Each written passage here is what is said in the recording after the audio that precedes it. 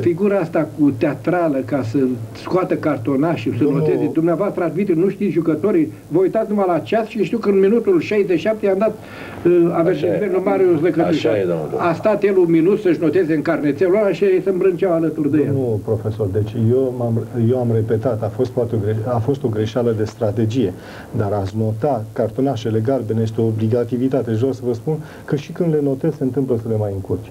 Este foarte dificil de afară să privești cinci cartonașe galbene să le ții minte și este foarte greu când ești în terenul de joc și faci efort fizic foarte mare și intelectual să le ții, să le ții minte pe toate. Da, da, domnul Crăciun, dar la valoarea lui, că după retragerea dumitale și după faptul că Adrian Păunoi mai are un an, Adrian Porumboaie mai are un an sau doi, el ar fi, nu?